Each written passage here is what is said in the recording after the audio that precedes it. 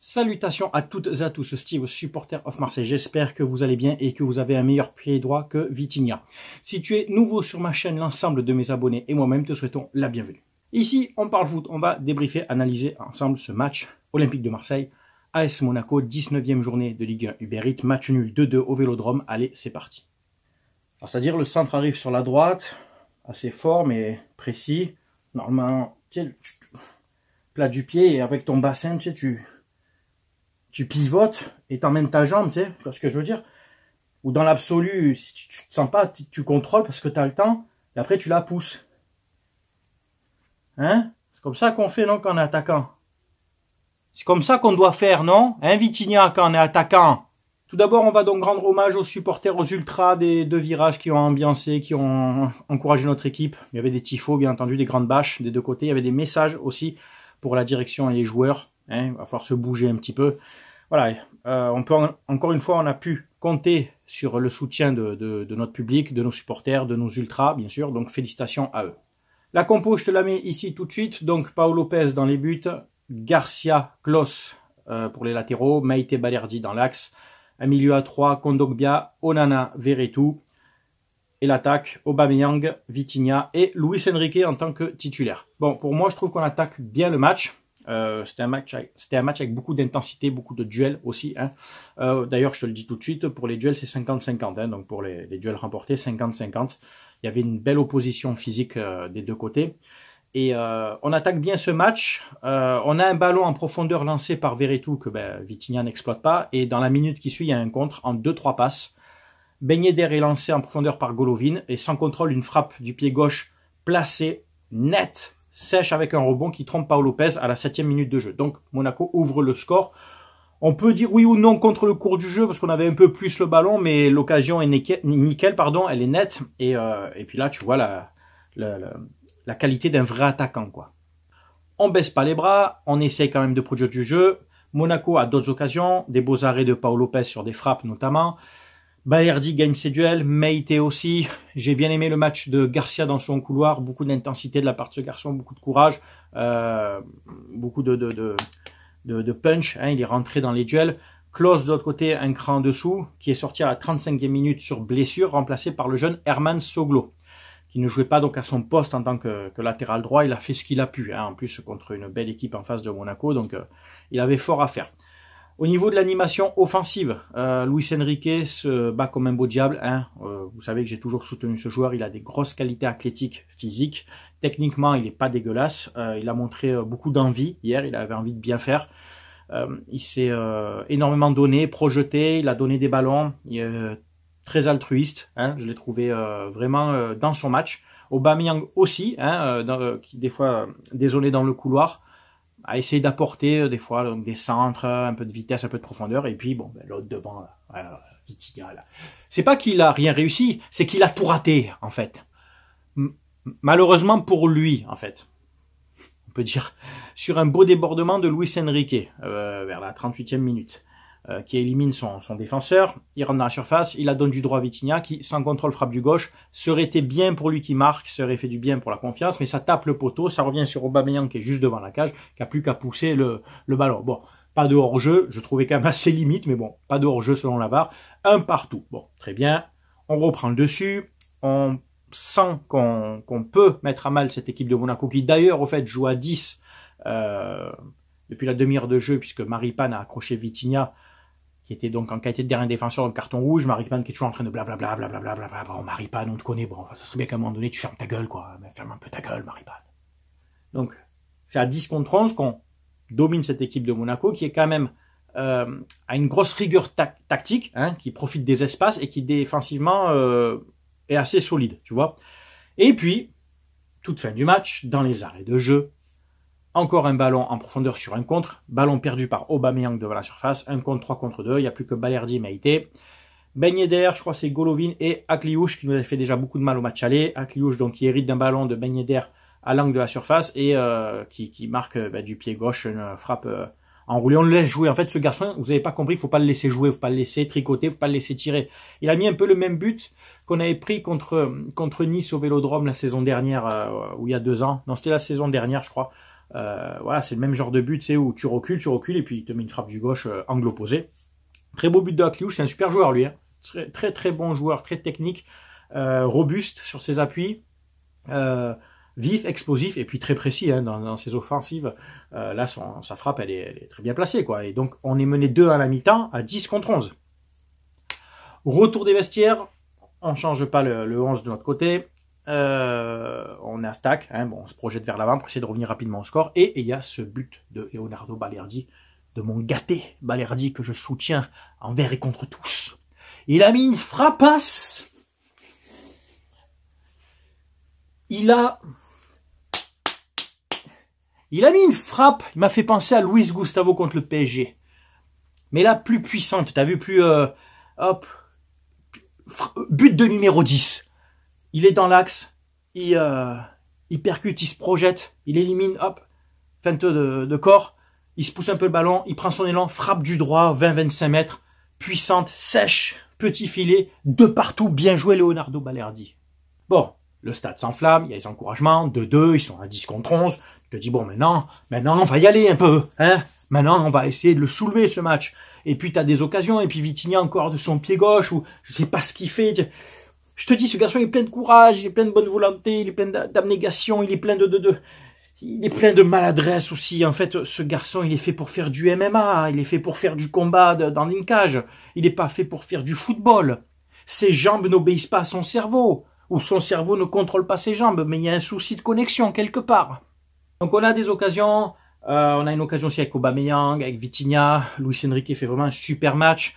Match de Verretou, très très bon aussi. Kondogbia, Kondogbia match plein. Le bon Kondogbia qu'on connaît, euh, qui gagne ses duels, qui élimine, qui, qui casse les lignes. Onana, je l'ai pas trouvé dans le match, je sais pas vous, vous me direz, peut-être c'est moi, mais Onana, je l'ai pas trouvé influent. C'est le 11e joueur. Voilà, il fallait être 11, il était là. Bon, Onana, lui d'ailleurs qui a été remplacé à la 86e par un jeune joueur euh, Sidi Ali, hein, que je que je voulais pas, qui était de la réserve, qui montait en équipe première, tout comme Sparagna. D'ailleurs, oui, petite parenthèse, on avait le retour du Steph. Oh, Steph Steph Sparagna oh, qui était parti à Aubagne. pour euh, les gens qui connaissent pas la région de Marseille, Aubagne c'est quoi? C'est à 10-15 km, tu vois? C'est collé à Marseille, pas loin quoi. Il jouait en CFA à Aubagne et puis il revient. Bon, à 28 ans, c'est bien, moi ça me fait plaisir. Hein. Il revient, il était pour la réserve à l'OM. Euh, c'est alors, c'est Sparagna, c'est c'est bon, c'est pas le meilleur défenseur forcément connu, sinon il jouerait pas au bail, mais c'est un mec voilà, en mode dans sa tête, il est en mode guerrier. Après forcément c'est pas pas un top joueur, c'est pas un top défenseur. Oh, je l'ai vu sur la feuille de match, voyez là le Steph. Donc on a encore des occasions. Euh, Monaco finit même à 9. Zakaria prend un deuxième carton jaune, le premier parce qu'il ouvre trop sa gueule, le deuxième parce qu'il fait une faute. Et donc Monaco finit à 9. Entre-temps, Soglo sort. Euh, il avait pris un carton jaune et euh, c'était un jaune vraiment limite. La prochaine fois, il prenait un rouge. Et c'est Correa. Correa qui rentre. Je l'avais oublié celui-là. Correa. Ah, il est rentré, lui. Oh, de Correa, de la merde. Correa, c'est nul. C'est du recrutement Longoria comme depuis, tu sais, un an, deux ans, où je te prends des joueurs parce qu'ils jouent à l'Inter de Milan, je te prends des joueurs à droite, à gauche, et ça vaut nifre, ça vaut que dalle.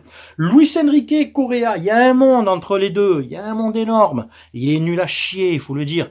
Bidon, ce joueur. ne, me lève pas l'option d'achat de ce garçon. Et donc arrive cette, cette occasion. cette occasion de Vitinha. Veretout fait un super travail sur le côté, il élimine, il se projette, coup de rein, vraiment un gros match de Veretout, il fait un centre nickel qui, passe devant toute la défense. Et Vitinha, tu es, je crois que, on, on parle même plus en mètres, on parle en centimètres. Je crois que tu es à 124 centimètres des buts. Ah, tout cassé, ouais, ouais. Je crois que si on allonge, t'es es plus près des buts que si je prends ma fille et que je l'allonge au sol. Tu vois ce que je veux dire, ma fille de 8 ans, t'étais plus près que ça. C'était plus que ça. Tu as réussi à pas la mettre. Tu as réussi à pas la mettre. C'était plus dur de pas la mettre que de la mettre. Alors certes, comme j'ai déjà dit, le prix de son transfert, il n'est pas responsable. 32 millions, ça, bravo Longoria. Un belle douille. Ok, il n'y a pas de problème.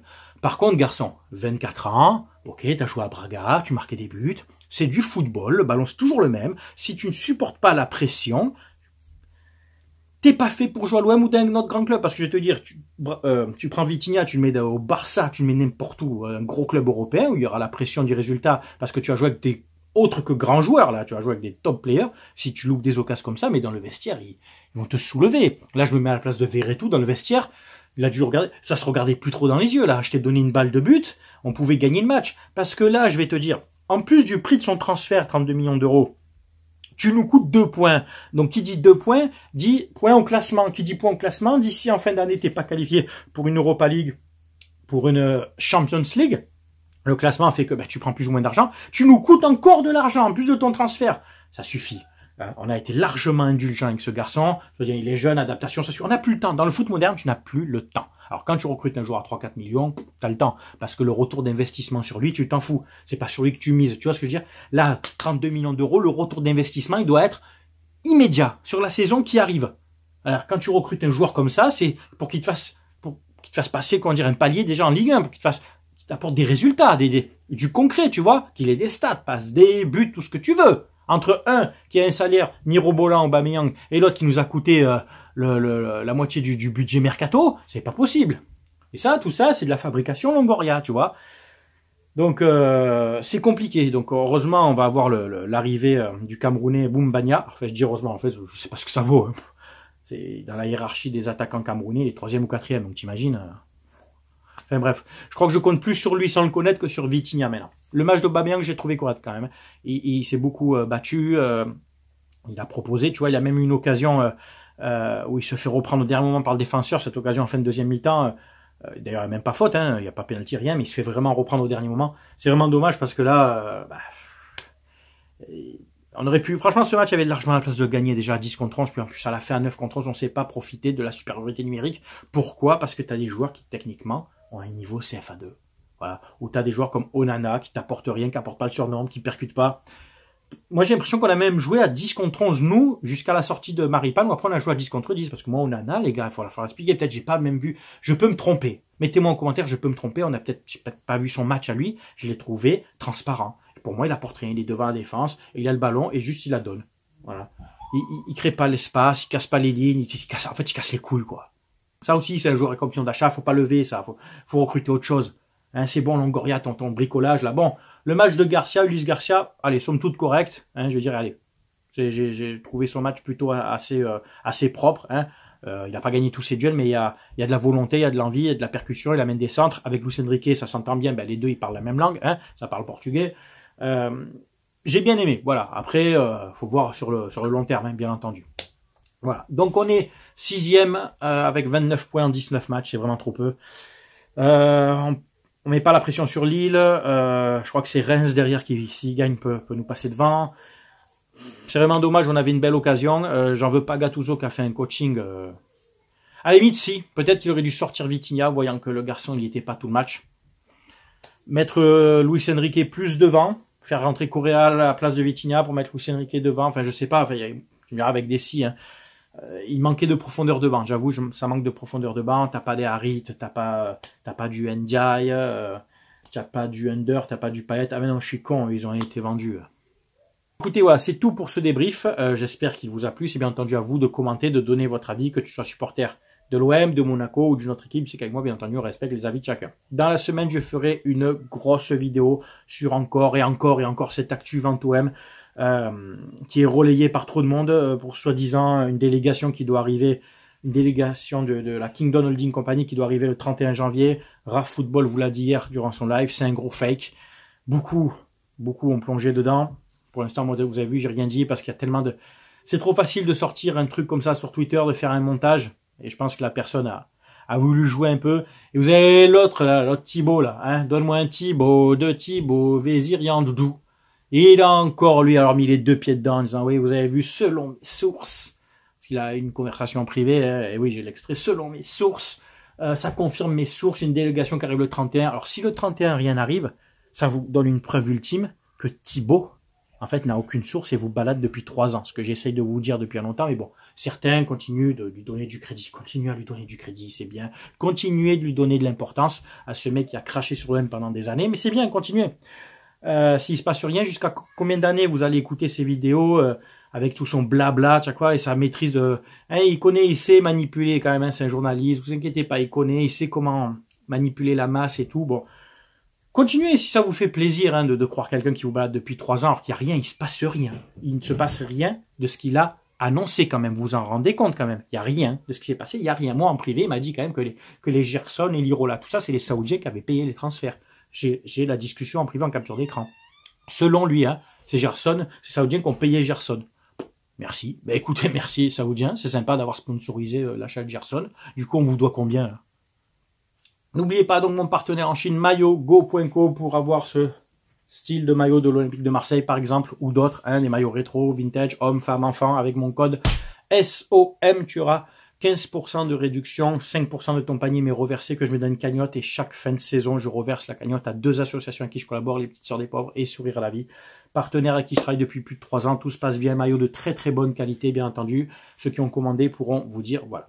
Euh, je vous souhaite de passer un très bon dimanche. Merci d'avoir regardé ma vidéo. C'était Steve, supporter of Marseille. À très bientôt. Ciao, ciao tout le monde.